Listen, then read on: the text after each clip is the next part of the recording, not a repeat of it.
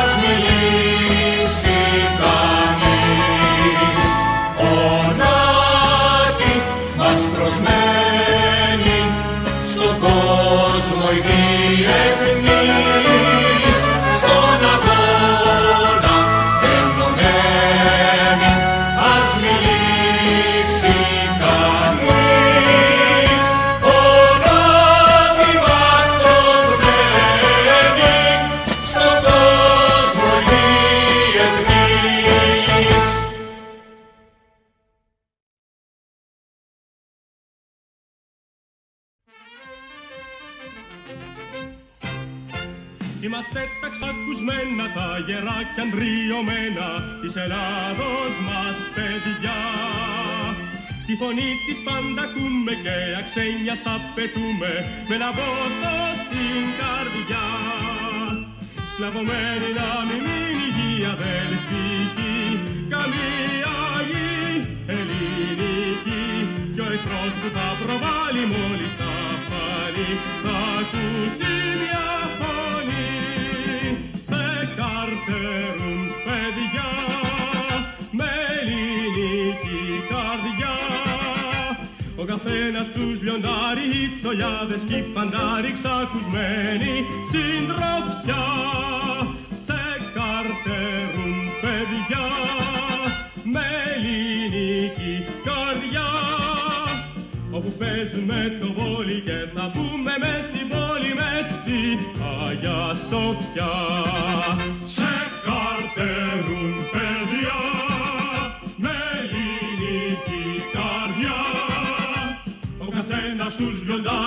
τσολιάδες κι φαντάρι ξακουσμένοι συντροφιά σε καρτερούν παιδιά με ελληνική καρδιά όπου παίζουμε το βόλι και θα μπούμε μες στην πόλη μες στην Αγία Σοφιά.